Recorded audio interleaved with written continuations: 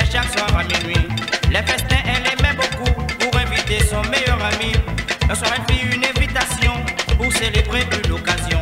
Mais de la tête sans faire attention, la meilleure d'un beaucoup jusqu'à destruction.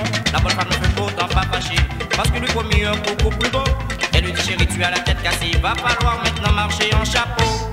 Chapeau de paille, chapeau, chapeau melon, chapeau.